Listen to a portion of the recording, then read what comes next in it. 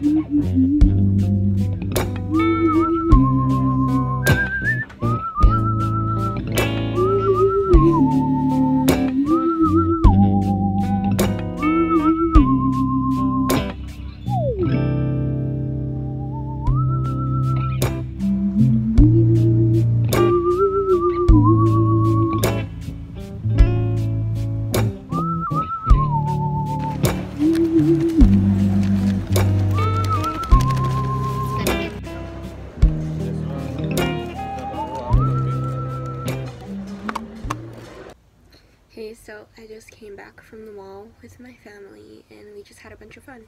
Okay, so now I am going to study. Also, I want to show my planner. Um, this is, I, you know, basically plan everything in here.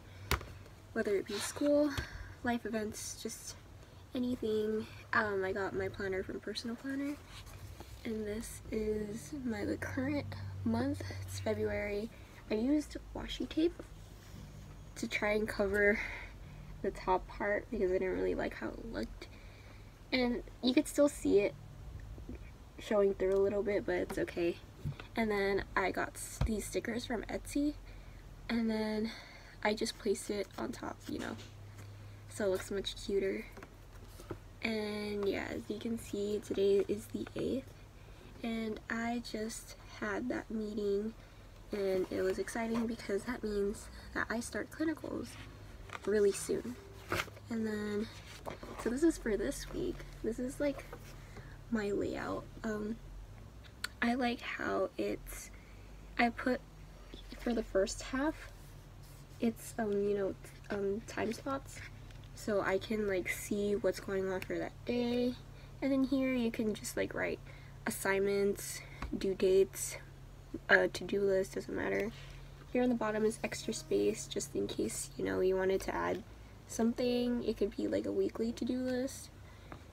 And yeah, um, this is going to last me one whole year and I plan to use it to its fullest. And ooh, I just want to show extra stickers that I got from Etsy. So I got these like nursing stickers. So like anything nursing related or nursing school related, I will stick this little these little stickers. See, I already used one. And then I have these like clinical stickers. It's like really cute. And then I also got these, you know, the monthly stickers. And yeah, that's pretty much it. So I have very different ways of studying. I use Quizlet and I like to write out stuff and I also like to um, type in like I would get like a document and I would make a chart and those are like usually the three main ways that I study now. It really helps me. So this is my Quizlet. So right now I'm taking pathophysiology. Click on that and I would make Quizlets for every single chapter. Currently, last night I studied chapter 15. Now, I'm today I'm going to study chapter 16. And what I like about this is that I can use this learn feature. Here it shows me, um, it would give me like, I there's like different options. I can choose whether to answer with term or definition. Usually I just like answering with a definition. And then I just like using um, multiple choice questions. Makes it much easier for me. And then Quizlet modifies it that way and helps me study. So that's what I do. And it won't end until I get everything right. Like, let's say I got something wrong. It would um, test test me that, that same question again and then if I get it right, it would put it under familiar. But if I um, if uh, like if I get that question again and I got it right again, then it would end up in mastered. But if I answered a another question and I got that right the first time, it'll immediately go to mastered. So I also like using this test feature. Here I would modify how it's going to be again. Choose multiple choice. You can choose up to how many questions. I always like testing myself on everything. So 59, all 59 questions. Then I would answer with the definition. Then reset it, and that's how it works. And then at the end, it'll tell me what it'll show up here what what percentage I got, and if I'm satisfied with the score that I got, then I would move on to whatever I need to do next. I, it could be studying or homework, doesn't matter. But I, I like this because I can literally, it, I don't know, it's just better for me to study this way. So this is another way that I like to study. I use this. This is a magnetic um, whiteboard that I got from Daiso. So you can see, look, look how thin that is. It's great because it's it's much more portable and I can just slip it into my binder and then I just bring it and then it's much easier for me to bring out and then put back in it's like no hassle at all so I use this whiteboard and I would write out certain concepts